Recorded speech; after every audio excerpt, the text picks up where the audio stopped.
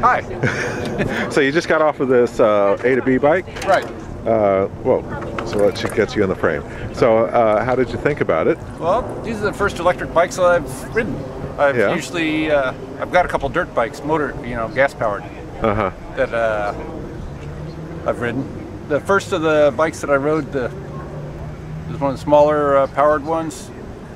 It's an unusual feeling to just kind of roll it on and no noise. Uh-huh. The that particular bike felt kind of flexible. I mean, flexy. The frame on it wasn't real uh, encouraging. The second one I rode uh, definitely a better feel to it. You know, more stable, riding it around. Okay. There's one now. So that second one was this one right here, right?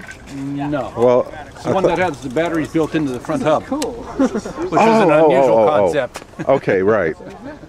Okay, so it's this one right here. Uh, that's it. Yeah. Yeah, that one interesting. Uh-huh. Sure. Yeah. Okay. But So is it two wheel? Two wheel drive? All right. Check out a couple more Sure. for comparison. Okay. Okay. But you found it a good experience, or Yeah, yeah? something a little bit different. Uh, Uh-huh. For my personal needs, I need something that's going to do at least 40 miles an hour in order to get out of my neighborhood and to any place else, because that's what Oh. the speed limits are. Yeah, but And that's not a of these- bicycle then. Right. So Yeah. I need a m- motorized motorcycle. Yeah. Yeah. Okay. Thank you. All right. All right. So you've ridden a couple of the bikes, Mm-hmm. and what do you think about it? Um, it's actually uh, pretty interesting. You know, you get this uh, pedal boost. Um, I haven't actually really tried electric bikes before. As a bicycle, I've got an electric scooter, so the pedaling at the same time is a new uh, experience for me. Um, there's a lot of variations here. Uh, I think the most interesting one uh, is the European version that requires some pedaling input before it kicks in the electric motor. Yeah. Very different feel than the you know the throttle control. buy it in San So, Francisco because they're headquarters. Uh, he's got a lot of different things to, to look at and choose from here. Yeah. So what do you like about the idea of uh, a motor on a bicycle? Well, uh, some of the best things I've heard is that you know as you're going along, you're going to get some exercise too. You Yeah. power boost if you want you know want to get up the hills and get a little more speed, but you're, you're going to also pedal a little too. So that's going to help you uh, lose some weight and get in shape. Something like that. Yeah. But uh, the, the other great thing about bicycles is they're so efficient to start with that you can get a lot more performance out of a smaller motor and a smaller battery pack, which keeps your costs down.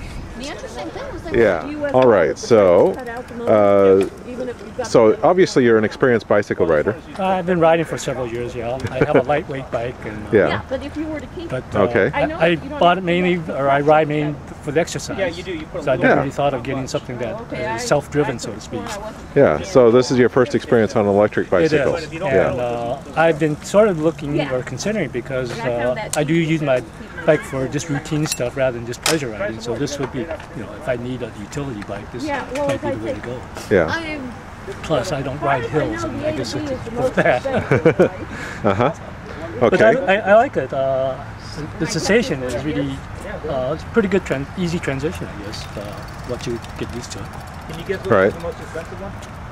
So, uh, I think I'll, I'll probably be looking more into uh, electric bike as an alternate means of transportation. Oh. So what do you find attractive about this? Uh, well, like I said, it, if I need to, uh, if I get tired of pedaling, obviously, and need to no, I climb think hills and it's the stuff like that, hub I think motor, this and this is. uh, a nice way to go about that's- getting from yeah, that's point A to point B. Yeah. Oh, this this is. But yeah, when I just so go uh, out for essentially exercise, I still like to planetary. pedal, and this is kind of heavy for uh, that type of exercise, but uh, I, I guess I get used to it. Uh huh. Well, I should try it's this A to hard getting used to the weight, see though. It is quite heavy, but the whole idea is, is it's not a lightweight bike. Right. That was. Right. All right, any other questions? Um, you've only tried this one here. So far, yeah. one this was is- that I'm that gonna I try some others, tried? just get Okay. different Yeah. feels. So they're, they they do have several several kinds here. Yeah. okay. All right. All right. So you've ridden several of these bicycles now, right? Yes, I have. Almost all of them. Okay. And so what do you think so far? Well, I love them.